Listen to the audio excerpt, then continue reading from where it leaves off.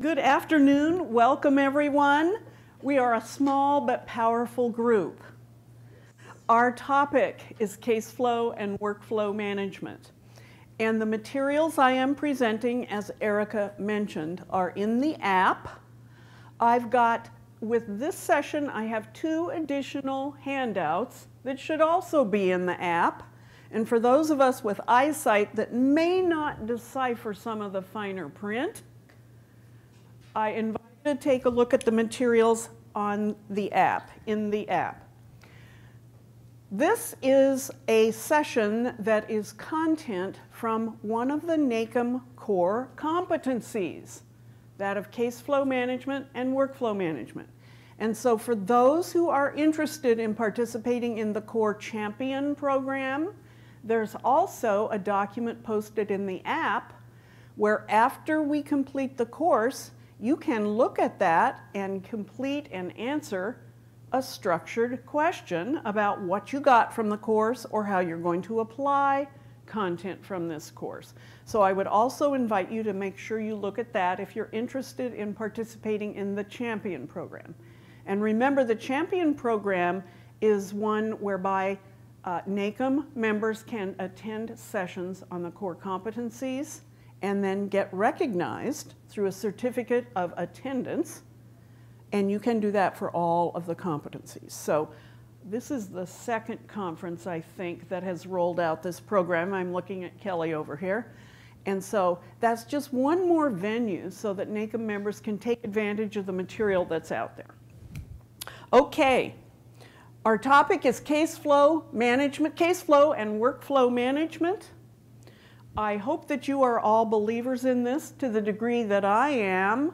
I will start by saying case flow management has been part of my court life from day one, way back before the 80s when I started in courts. At the time, I did not understand the importance or the presence of doing case flow practices. But my very first job involved paying attention to what was happening in the flow of cases, thus my love for the topic. This is part one of this series today. Part two will follow immediately after. So in this part, we are going to, and here's where the fine print is difficult to read, we are going to cover some introductory material. We are also going to um, review all of the basics about proven case flow practices, uh, explaining each. Throughout our time together, I want to invite you to think about your court, your environment, your organization. How can you use this content? How can you apply what we have presented here? This content comes from the NACM curriculum on case flow and workflow, but I've sprinkled in some personal experience and some personal knowledge about how to use the case flow fundamentals. So throughout, I invite you to evaluate and assess and think about, could I do some of these things? Where is my court already doing some of these things? Where can we improve, etc. I also want to invite questions and feedback. I've got some things I will ask you to do.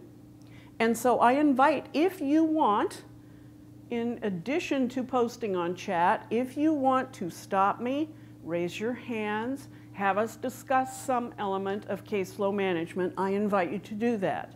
And I have also asked Erica if something comes up on the chat from our virtual attendees, we want to respond to your comments and ideas as well. So, questions and discussion throughout. What do you want to know about case flow management? What do you wonder about it? What doesn't make sense? Here is a picture of all of the core competency topics. For those who are familiar with this, this should look familiar with what you've seen. There are 13 different competencies. We are tackling case flow and workflow which is right over here, under the area called practice. In other words, practicing things that operate courts. You know, we all bring a different perspective to how to use case flow practices, what they mean, why they're important. So to illustrate that, I'm going to say a series of words. When I say them, I want you to think about, if you have a piece of paper, old style, I want you to jot down what's the first thing that comes to your mind when I say each one of these words. I'm going to say each word, ask you to either remember or jot what your first thought is, and for those participating virtually, I invite you to do the same. Then after I've said all the words, I want to get what your answers are to those words. So, are we ready? Remember, I'm going to say the word, remember for yourself or jot down what's the first thing that comes to mind. First word is case flow.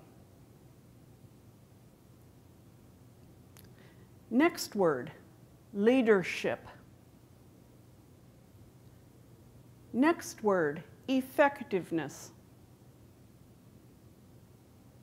Next word, challenge. And our last word, change. I've given you five words. Your task is what was the first thing that came to mind when you heard that word? So I'd like now to call, ask you to shout out what came to mind, starting with case flow. Yell it out. Fun. Oh, I like that one. Who else? What? What? Organization. Good answer. Essential. Good one. Anyone else? Backlog. Backlog. And again, for our virtual participants, be thinking about this. What comes to mind when you heard these words? Okay, I'm going to the next word. It was leadership. What comes to mind? Vision. Vision? Vision. Any other takers? Necessary. Necessary. Lead by example. Very good. Okay, what? Efficiency in the chat. Efficiency came through the chat, yes. Okay, the next word I said was effectiveness. Humility. What come? Humility? Very good. Humility.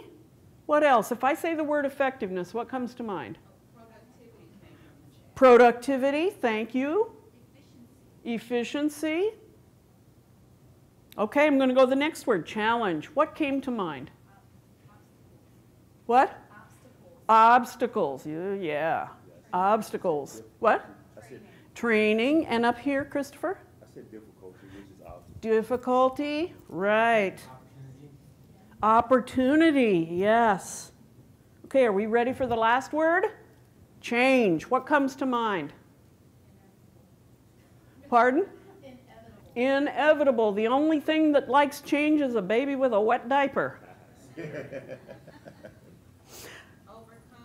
Overcoming. Yes. Thank you, virtual participants. Scary. Yes. Okay, this was a very simple exercise. I said the same words to each of you, but we had different responses, right?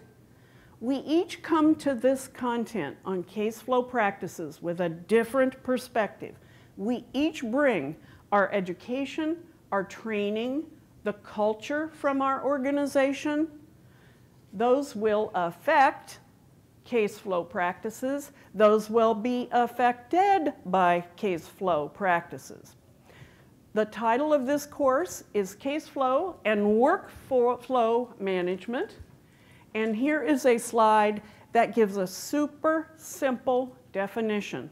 Case flow management is the process of paying attention. Paying attention to what happens in the flow of cases, paying attention to case volumes, paying attention to maybe even events, paying attention to time and deadlines. Case flow management is nothing other than paying attention. Workflow management relates to all of the processes, protocols, maybe even resources needed that allow you to do case flow management. When I was a baby court employee, my job was to read court documents and update the court record as to the status of the case following a judge's ruling, following a court event, or whatever, to update the status of the case. Well, for many, many months, I just rotely read documents, looked at files, updated the court's record. Years later, I realize that was the process of paying attention. What's the next event? How much time is passing? How many cases are at different stages of their life? That is what case flow management is all about. And for purposes of our time today, these two are going to blend together. Case flow and workflow management are essentially the same thing. The processes, the procedures, the resources, the actions needed to help cases move through the system. Let's take a look at a document I have provided for you. This is included in the app. The print is very small up on the screen, but I want you to consider this document as a way to evaluate how your court is doing on case flow management. I'm going to go through this very briefly. This is titled the GROW Worksheet. And GROW, G for goal, R for reality, O for options, and W for way forward or the will to do it, the GROW worksheet. This comes from great material from a gentleman named Alan Fine, and others have written about this as well. You can find the resources listed on the bottom or the references on the bottom of this form that's in your app, or Google the term GROW. Again, it's G R O W, and this worksheet is set out so that as we go through this material, you can use this as a structure to ask yourself, what's my goal related to case flow management? If I am going to take actions, what's the reality in my court, in my organization, in our justice system? And I've broken reality down into both current strengths and current challenges or weaknesses. In some of your answers to the one words, there were things like challenge, obstacle, impediment, right? So this is a form where you would make notes for yourself about what are the things you are currently facing. Next area of this is O, options. This relates to asking yourself, what are my options? What are our options? What can we consider? Even what can we create as an option? And this is where you would note that on this form. Lastly, W, way. What's the way forward or will? How can we get the will to do this? This is what I lovingly call the GROW worksheet. You will see this several times through our time together in the session today, and I make it available for you to use as a structure to actually make notes for actions when you go back. If you don't have it pulled up, improvise. Pretty easy, G-R-O-W. So this is part of what I want you to do to evaluate and assess case flow practices. Working directly from content out of the NACM core competency on case flow management, we're going to quickly review some of the background that led to case flow practices. And we will cover purposes, the history, and just a little bit about the court environment. All of this content is sizable enough that for actual learning, it would be a two to three day course. We're doing it in 75 minutes. So fasten your seatbelts. As part of the background, we come to the purposes of courts. By a show of hands, for those of you who have heard this concept or title, please raise your hands. Have you heard of the concept of purposes of courts? Not everyone has their hand up. This is material that's been out for many, many years. What you see in front of you is a list of eight purposes of courts. They were penned by the founder of the Institute for Court Management and a law school dean and a consultant named Ernest Friesen. This list of purposes is also included in a video that is available on YouTube. Very instructional and informational. You should see here eight different purposes ranging from do individual justice in individual cases to number eight, separate convicted people from society. This list of purposes is part of the foundation of understanding case flow management because the management of cases allows courts to do these purposes to deliver individual justice, to deliver the perception of individual justice, to protect litigants from the arbitrary use of governmental power, etc. This is a very well known list of purposes. I certainly commend you to go look at the video. Google Ernest C. Friesen Purposes of Courts. It's about 19 minutes long. He expands and expounds on each one of these purposes. For our purpose today, this is useful to remind us that these purposes underlie case flow practices. And many courts also use these purposes to align their operations, to remind themselves or double check why they're doing some operational aspect. Courts use this to link to their mission statements, their vision statements, maybe even in strategic plans. If you don't have a mission or vision statement or a strategic plan in your court, that's okay. But think about this list. Maybe you want to create one working off some of the concepts in this list.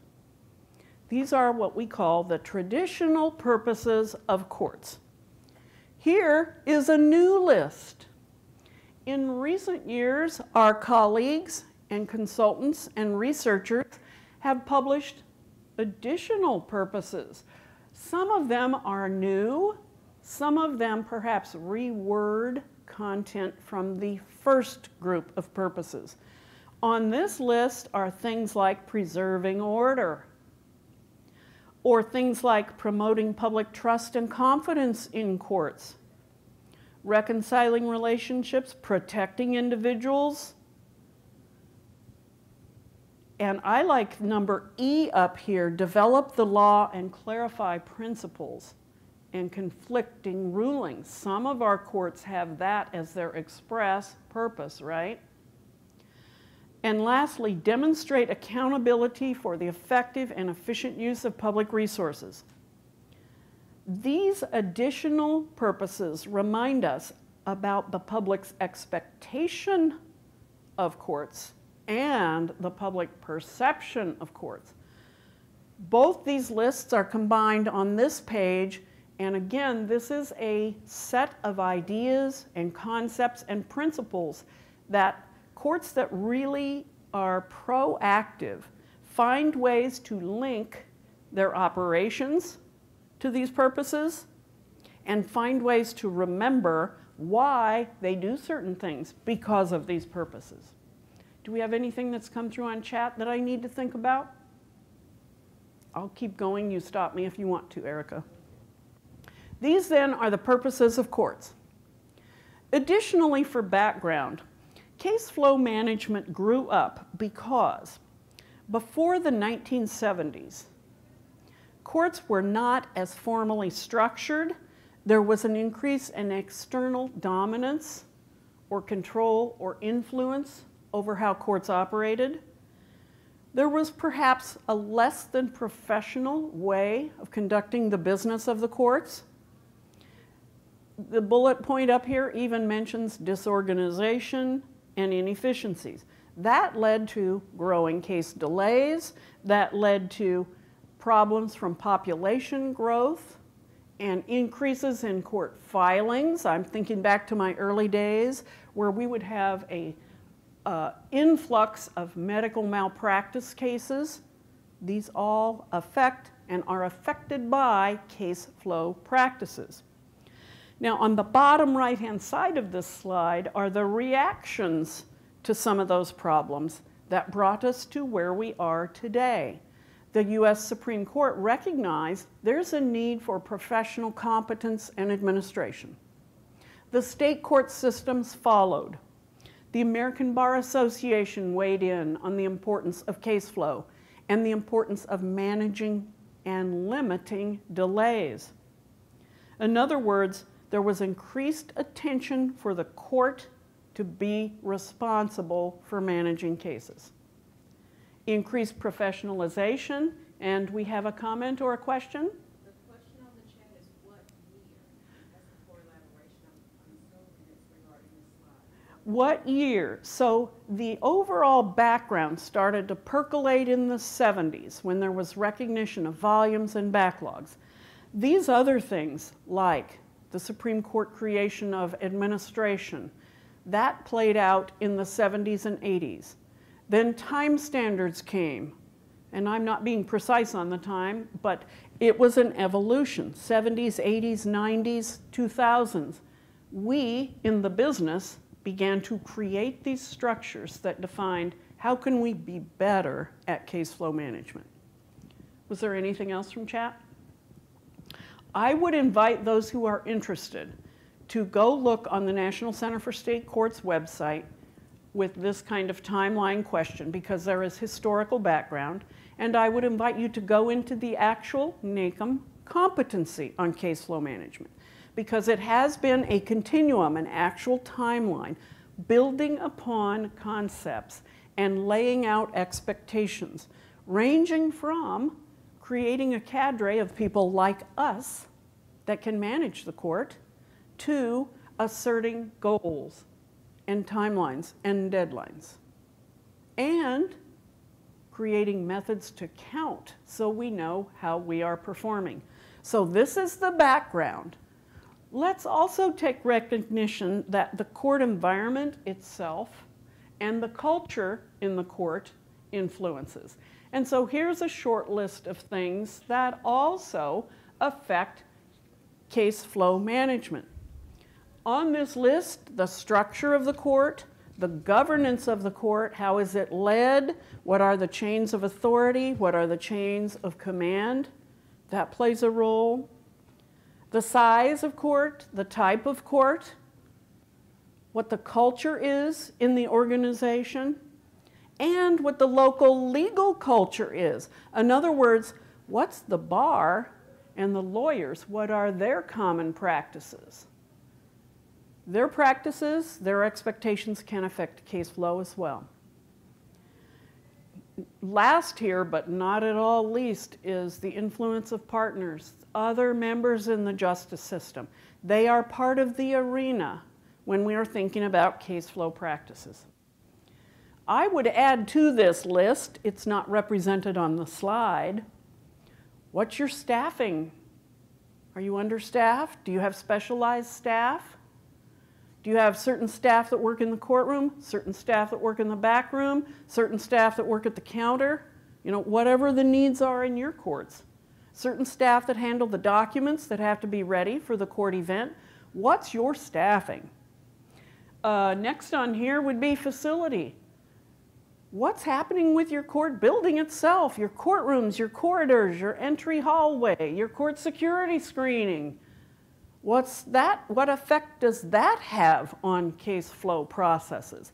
I was consulting in a court that had a mega docket at 9:30 in the morning.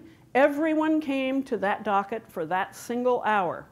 That docket had everything from the first appearance event for those who may be in handcuffs coming in to be seen, those appearing for status conferences or motions, those even appearing for their trial. A mix match. A mix match. a, the courtroom was full to the seams. It was very confusing. The lobby was packed because everyone was arriving at the same time. They could not get up to the courtroom in time. That kind of facility issue and practice, even with setting times and security screening, can impact case flow management. Technology's on this list too. It's not represented up here, but technology that you have to do all this for you, to track, to record, to provide information, technology can also affect. How you set your dockets. I just gave you an example of a cattle call docket where everyone come on down at the appointed hour. That can wreak havoc on case flow. And uh, we already mentioned, but justice system partners, do they have any special programs that help or hinder case flow practices? Uh, what about specialty courts? How are those helping or hindering case flow practices? All of those are part of the culture, the organization, and they can impact case flow management. You can also leverage them to help case flow. I wrote up here, these are factors, but they should not be excuses. These are factors in your court, in your organization, but they should not be excuses. Okay, I want a quick show of hands. Think about your court and your case flow management practices. How would you grade them? If you would grade them as wonderful or great, I want you to raise your hand. I see one, one full hand and a half a hand, and another half a hand. That's okay, because case flow management is something that needs continuous and ongoing management. Do we have any responses in over chat? For those attending virtually, I would ask you this same question. What do you think about your court's case flow management? Okay, for those who have the thumbs down, Somebody call out an answer. Why'd you rate it as a thumbs down? Not doing too good. Somebody be brave. Culture. Culture, because culture is there. Culture is dealing with influencing, and that's that's reality, and that's okay. That's why we're leaders, so that we can figure out how to manage that culture. Okay, for the third hand up here is I just don't know. We're kind of middle of the range. Who's in that camp? Who would put in the I just don't know? Several of you. Yeah, I just don't know. Middle of the road. This is all okay. Thumbs up, thumbs down. I just don't know. That's all okay. That's why we are leaders in our courts to tackle this thing called case flow management. We have Excellent. Good, good deal, thumbs up respondent in the chat. Um, we are now going to look at the actual proven practices for case flow management. These have been published in so many different places, ranging from books and publications, ICM courses, in the NACM core curriculum. I have organized them in the array that seems to make sense to me adding in some of my own personal experience. Here is the list of case flow best practices. I will quickly describe each item up here. First on the list is leadership. This includes commitment. Commitment by judges, commitment by the presiding judge, commitment by the court leadership. This includes setting out goals, talking about expectations. This is leadership, the first proven case flow management best practice. Next up is goals. Having clear goals, describing those goals, publishing information about those goals. They can be time goals, time standards. They can be performance standards, which could go to what are our goals for managing continuances? What are our goals for what the events are that lead towards case disposition? This is goals. Next up here is settlement or dispute resolution actions. One of the case flow management principles is courts should set processes in motion at the earliest time possible to help a case conclude or help a case identify issues that are, are no longer at dispute. So they can be closed out, dismissed, settled, resolved, leaving time and attention for only those items that still need to come before the court. This is called settlement and dispute resolution actions. In some case flow research and publications, this might be called alternative dispute resolution. In some courts, this may be handled by online dispute resolution, ODR. For our purposes here, I have called it settlement and dispute resolution. Next up is an item called case attention or control. This goes to courts that are really paying attention to case flow management. Kick in the attention and the control over the process of cases as soon as they hit the door. Now, for many of us, that sounds very aggressive, but the more a court can find out what are the issues at dispute here, what is this case all about, the more the court can be ready for the resources that are needed for the case. So this one is called case attention and control. This includes being familiar with your caseload inventory. What's the actual collection of cases you have before you? And how are they doing in terms of how old they are? What's the case group that might be backlog? And backlog in case flow management terms refers to cases that are older than your stated target goal. So if your goal, making this up, is to have cases concluded in 250 days, and you have a series of cases that are 350 days old, what is that group of cases? That is backlog.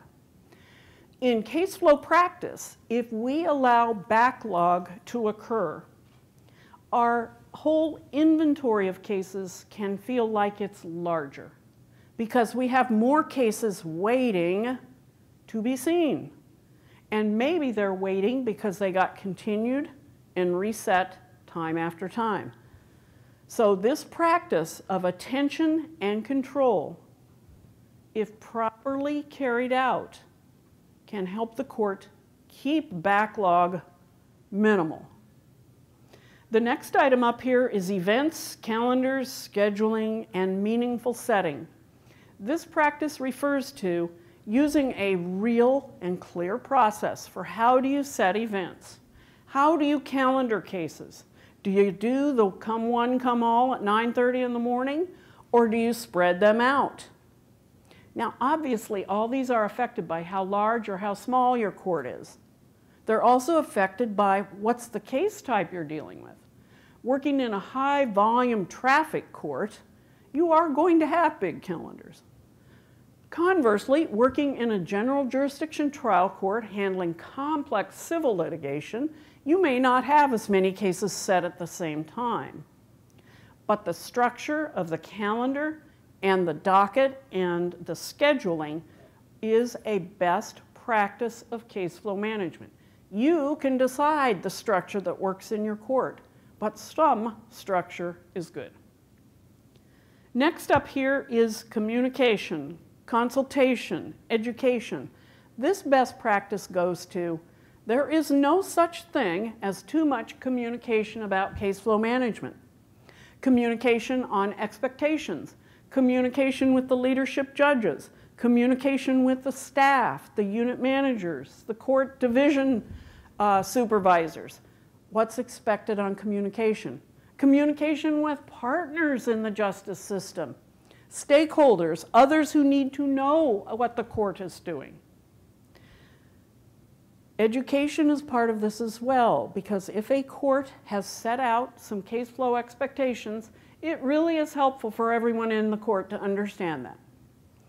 I was on a consulting assignment in southern Arizona where I was interviewing clerk of the court staff, and all they could tell me is, I received this document and put it in the file. There was a whole element missing about why that work was important, because the documents had to be in file in time for the court event.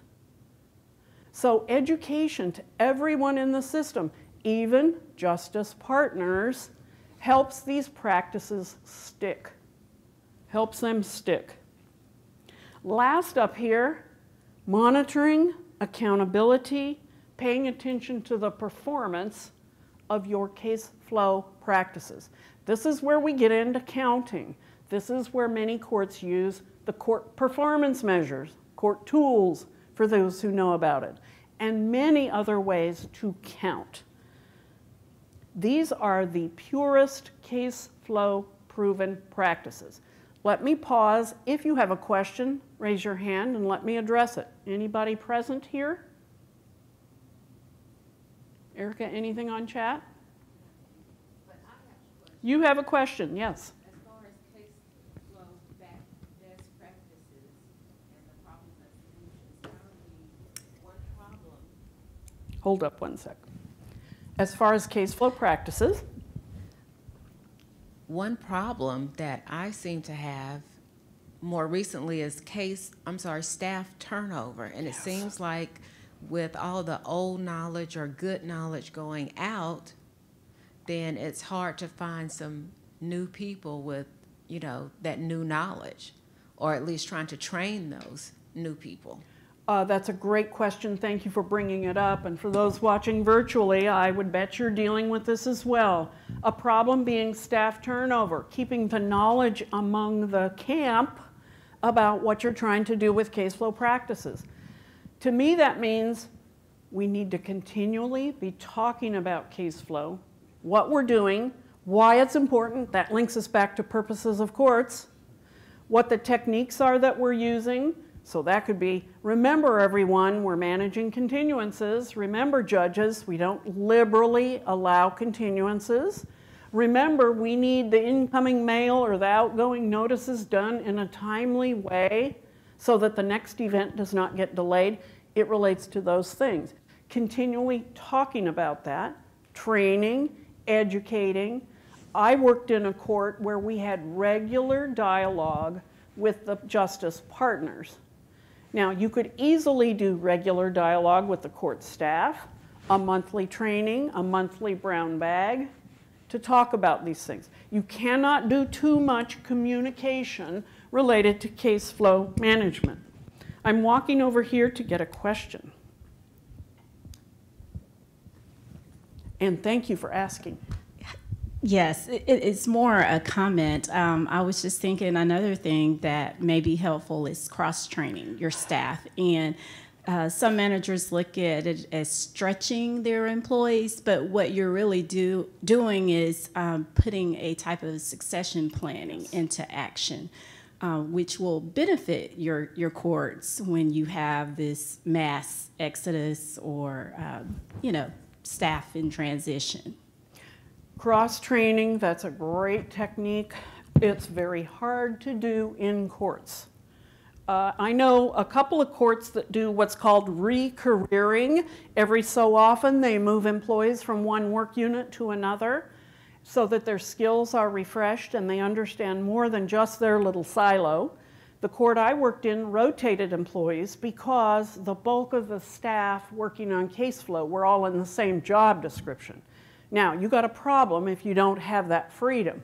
But think about your system. This is where that grow worksheet can come in handy. What are some of the obstacles I might need to envision? What are some of the challenges I'm going to need to think about to leverage this? Do we have a chat? we do. The first comment from the chat is that legislative changes create case flow adaptations too. Yes, that's a very good comment. Thank you, whoever chatted that. Legislative changes, new laws, new rules can affect case flow. I remember the year in the jurisdiction I worked in where a new law came in changing the liability structure, joint and several liability, in civil cases. We had to be ready for an influx of cases right before the new law because all of the companies knew it was coming. What's going on like that in your jurisdiction? I guarantee there are things occurring. And this is on top of staff turnover, staff training, staff absenteeism, COVID. In our next session, we're going to talk about COVID. This is on top of all those things. I like to say that these practices, case flow management, need ongoing attention and management in the same way we manage our court budgets every month, every week. In the same way we manage our court personnel. We're always paying attention. How are they performing? What's their attendance like? How's the health of our workforce? Case flow should have the same attention. A chat? Yes. What is the most important component to consider when you are working toward the improvement of case management flow when you are short-staffed? The question is, what is the most important component to consider when you're working towards case flow management practices with staff turnover or limited staff? Anybody want to take a guess on an answer for that? What's the most important thing to think about dealing with limits of staff, staff turnover? Anybody want to hazard a guess? Yes.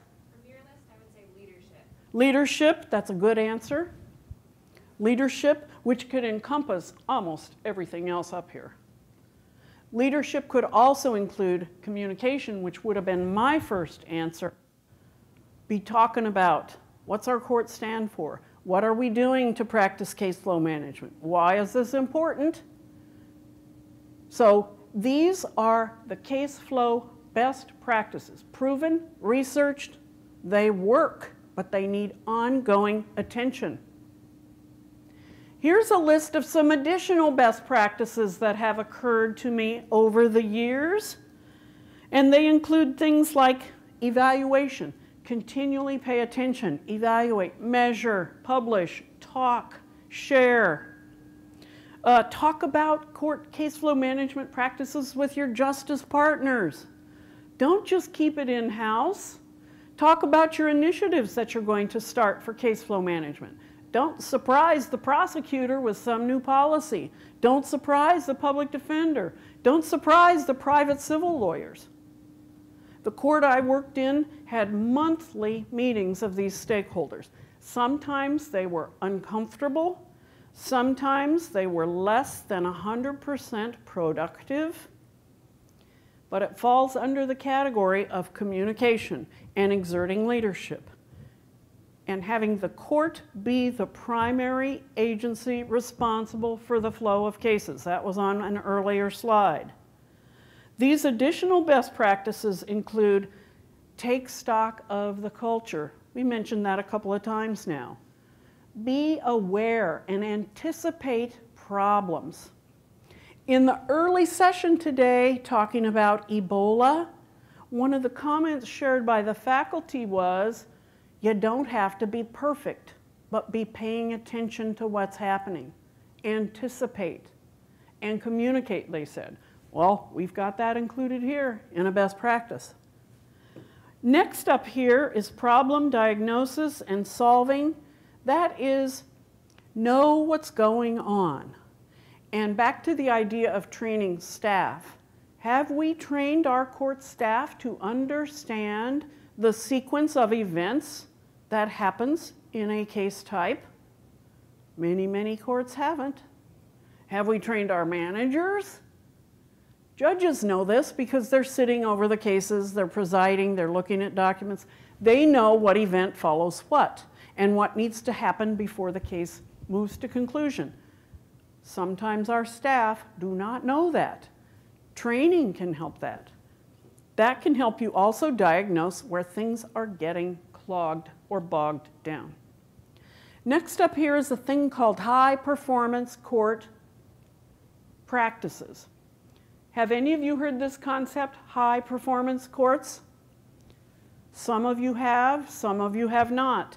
I would commend you to go Google high performance court framework. This is a concept that asserts certain practices by courts that are high performing. I'll come back to this on the next slide. Lastly, up here again is mention of performance information. I cannot overstate the role that counting, tracking, knowing performance in all areas of case flow is critical.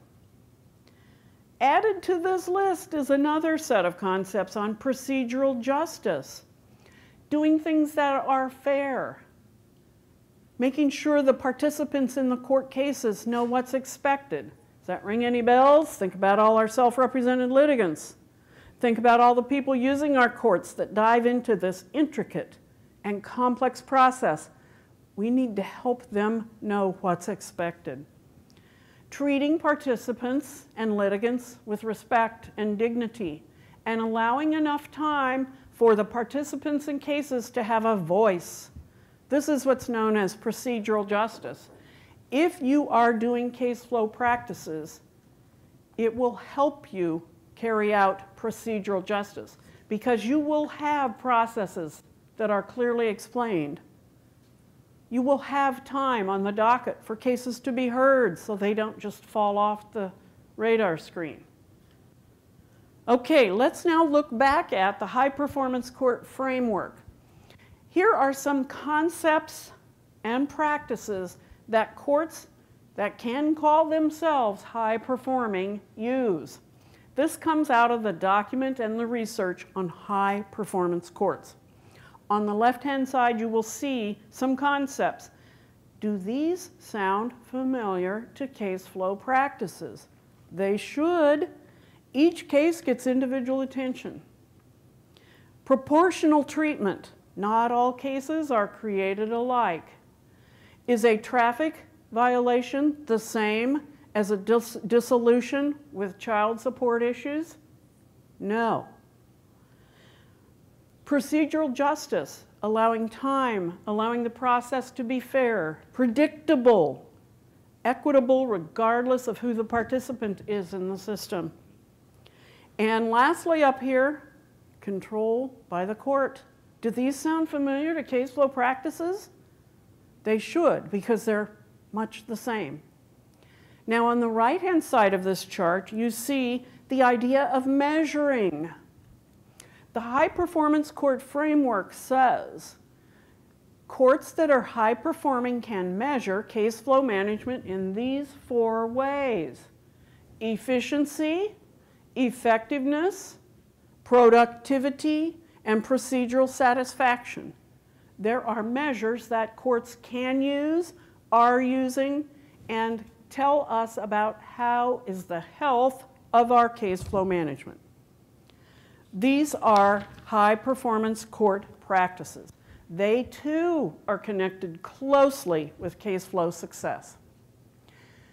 Here is an eye test for you. For those who have the app up, I invite you to look at this in the app. For those who don't, take a look at the screen. For those who are watching live stream, I hope you can get access to this document. This is a document that lays out in our seven case flow practice areas. Things that courts actually, tangibly do to practice case flow. Let me invite someone, look at this list, and if I could invite someone to call out an item that catches your eye from this list, anywhere on the list. An item that catches your eye from this list. Anybody? Yes.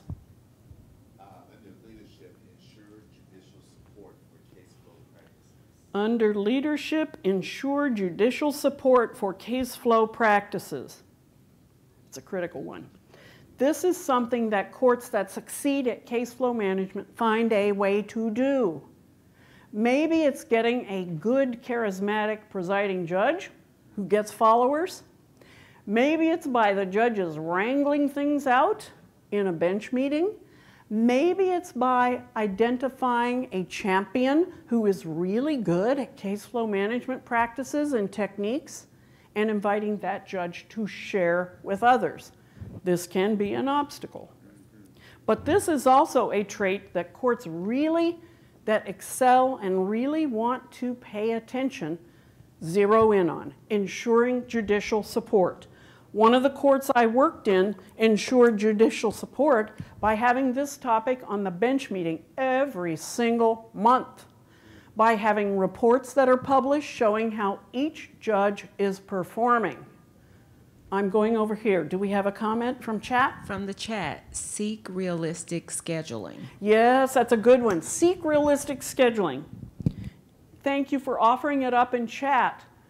Is it realistic to set 200 cases at 9:30 in the morning?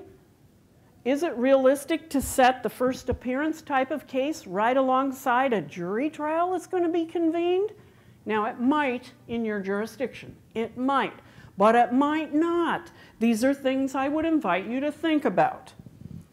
So you've been speaking in previous sessions about the importance of communicating your measurement. And so in the past, we've heard, uh, well, we don't have anything fancy, we can't make it look pretty. And I believe one of the things you have stressed is that even if it starts out as a manual process, get something out there to communicate what's going on. And could you describe how a court without resources could do that? Very good. Thank you for bringing that up. Not all of our courts can publish intricate data, right? Not all of our courts have great case management systems. Not all of our courts are counting things. We can find ways to count them. Measuring is helps us do these case flow practices. Measuring can be by tick marks, manual counting. Measuring can be by taking a sampling, go pull some files, go look at 10 cases and see how they're doing. Back to my baby court employee years, that is the very thing we did. We sat down and pulled a sampling of case files and counted. When was it filed? What was the date of the next event? How many times was that event heard? Continuances. How long did it take to get to trial? How many days had passed? How long from trial to final judgment? Those are ways you can count. You can take a sampling. You can work with your IT department, maybe, to get some reports. The absence of those things should not stop you from trying to measure. Measurement informs us where we have problems. Measurement informs us where we need to try some enhancements. Did I answer that? Start small, high tech, low tech, mid tech. If you have to do tick marks, do them. If you have to just do a sampling this day of this month, go do a sampling the same day next month. Start building a pattern. Start collecting the practice. You don't have to have the latest and greatest. Sorry, Tyler and Odyssey. You don't have to have the latest and greatest case management system. So measurement is part of this. Measurement and case flow are so intertwined. So the question is, how is your court performing on these things? How is your court performing? Here's our list of the case flow best practices. Here's three questions for you. The first what leadership activities is your court performing? Would anyone care to volunteer? What leadership activities related to case flow management is your court performing? Do you have regular bench meetings? Do you have training for the bench on case flow expectations? My guess is you have these things in place. So, another tip would be inventory what you're doing now and then match them up against this list of case flow fundamentals. Measure what you're doing. Back to this list, this long fine print list about case flow best practices. Go through this list and circle the items you are currently doing. Go through this list and identify. And talk about it with your court, talk about it with your bench, talk about it with your funding agency, talk about it with your stakeholders. Comment. From the chat, monthly meetings with court and prosecutors. Yes, that is a good one. Monthly meeting with courts and prosecutors. That is one of the practices where you are exhibiting leadership. That indeed is one of them. Okay, the next question up here goals. How does your court use case processing or case flow goals? How is your court doing that? What are you doing? Does anyone in here want to volunteer something you're doing in that regard? We have an annual case count. Annual case count? Yes. So that you're counting and then you're assessing that count against the goal or the target. That's a great one. Next up here, monitoring. What steps does your court have in place to monitor? Pay attention to case flow management and case flow performance. What steps? Yes. We have a dashboard that we use. We have a dashboard that we use that our judges can see um, how old their cases are. It actually turns them red, green, yellow, so they know where it's sitting in their time standards. And then they have to do quarterly reporting. That's great. If you can do a dashboard, and many of them are the result of pulling data from the case management system, but they do not have to be. If you can create some kind of report where you have coded it red, yellow, green, red, yeah, red, yellow, green for all systems go to danger, get it out there, share it monthly, weekly, um, I'm aware of courts that publish weekly reports to all of the judges with all of the judges' names attached to their particular set of cases. This can be risky, this can be scary. My advice would be figure out how you do that. Don't just do it and expect everybody to love it. But they issue these reports every month and let the judges look. How am I performing? It sets up a subtle competition, and I have observed that the judges at the next bench meeting will say, Well, Joe, I noticed that you don't have any cases over 360 days. How do you do it? And then we get the consideration of case flow practices. Comment. So to piggyback on that, we do a quarterly report, uh, aging report, which gives the judges the age of each of their cases. However, it is not seen by other judges. However, it's not seen by other Right. judges, and that's okay. Right. Some courts just can't do that.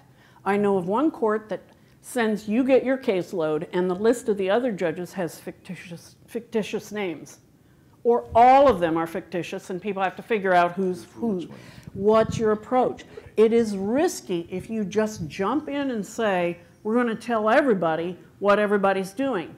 My bias is ultimately that's good, but you have to put your toes in the water. And you have to realize this is going to be threatening to those who have built their career on working towards becoming a part of this court organization, and now you're scrutinizing my data. This can be risky. We are hot in the chat. Danielle says justice stakeholder meetings monthly, court leadership every two weeks. Nicole says tracking time to disposition on certain types of cases and the clearance rate. Maria says case management system reports and ticklers. And Nick says, has a question, what is the most common reluctance to change in the workflow management? Those are all good examples of measures. I commend you to look at all of them. They are included in the CourTools measures.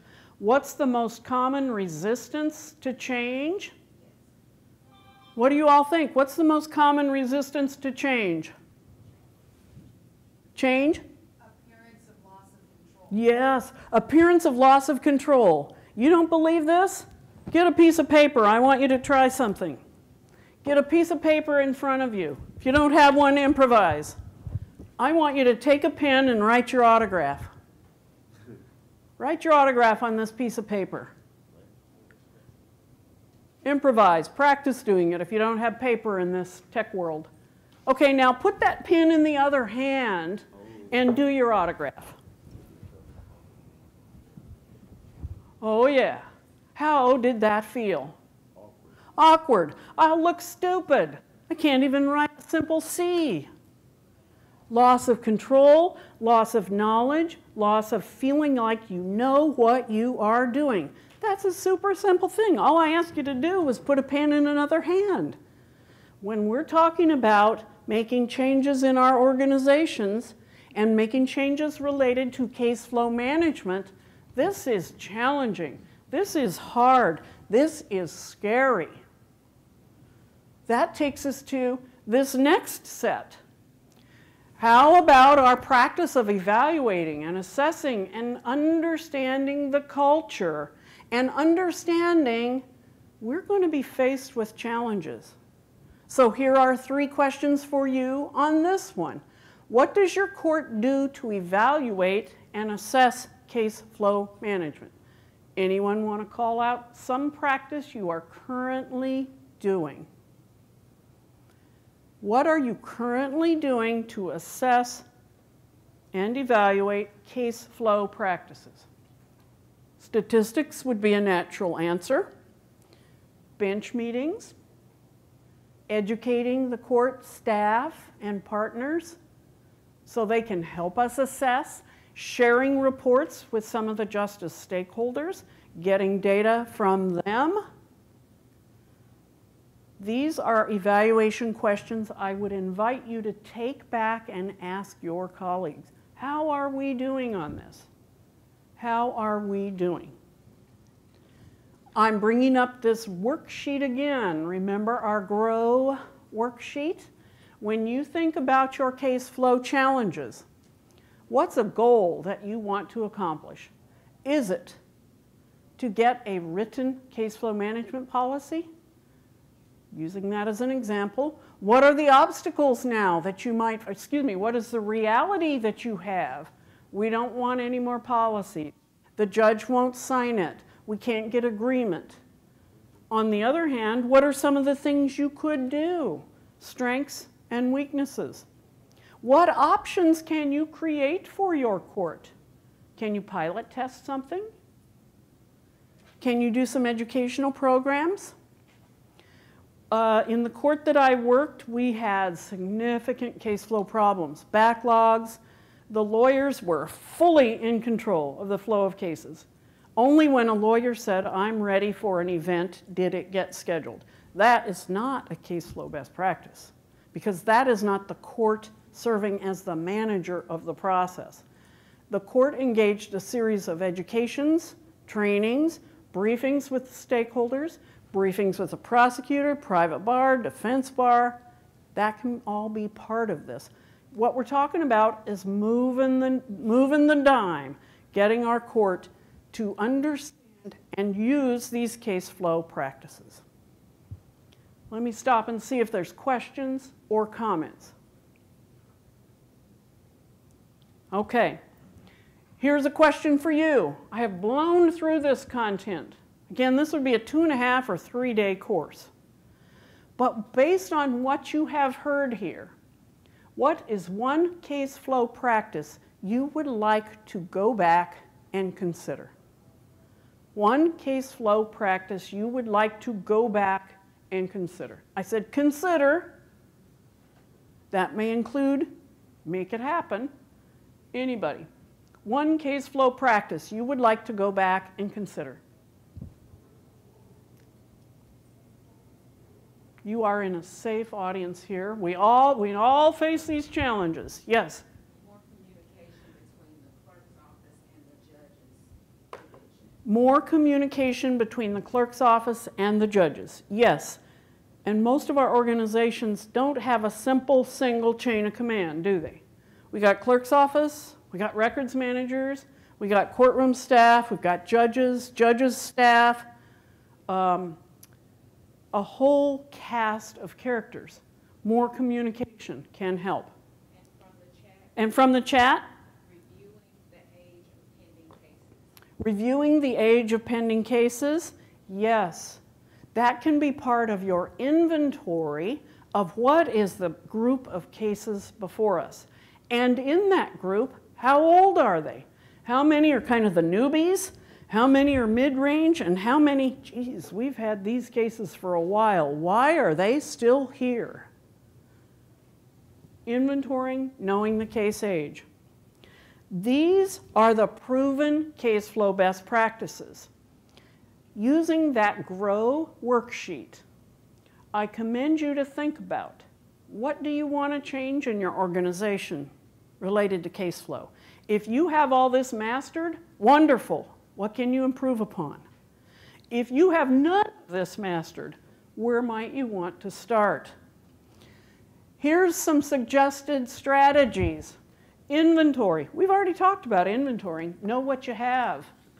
And for that matter, know what your mandates are. Know what your policies are. Know what your non negotiables are. If you have mandates that put out deadlines and timelines, by golly, are you following them? Many of our courts are not. Link things to goals. Link what you're doing on case flow management to the purposes of the courts, the mission statement, the vision, maybe the strategic plan. Evaluate. This is where I am suggesting you continually scrutinize, evaluate, assess, find ways to get better at case flow practices. Prepare, and sounds like my mic is going out, so sorry.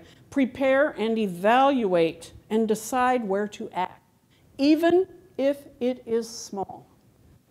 Decide where to act, even if it is small.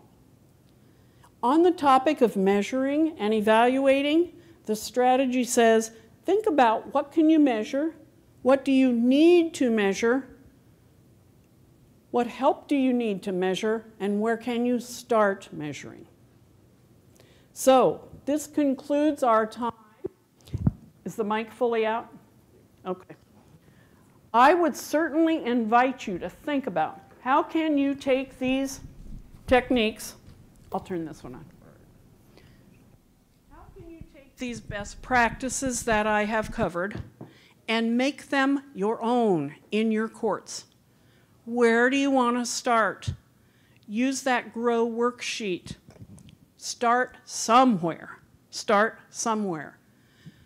We will be back for part two of this after the break, where we will be talking about just because COVID 19 happened doesn't mean we can't practice case flow best practices. So I want to thank you all for your participation. Enjoy the break. Remember, if you're doing the champion program, you want to go in the app and fill out the champion structured test so that you can be on record as having completed this course. And remember, there are two handouts related to this session the GROW worksheet and the listing of case flow best practices. So I'm going to hand the mic to Erica for some concluding comments, and I very much appreciate your attendance this afternoon. On behalf of NACM, we'd like to thank you, Ms. Cornell, for your words of wisdom. Hopefully, the folks in the chat and the folks here live can implement some of the some of the methods that you have spoken about so that we can get ourselves together. Now, please go into the app and be sure to rate the speaker and also rate the session.